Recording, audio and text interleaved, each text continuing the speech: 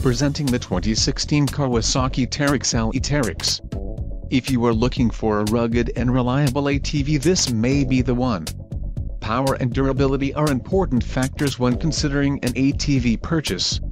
Follow the link in the description below to learn more about this unit's features.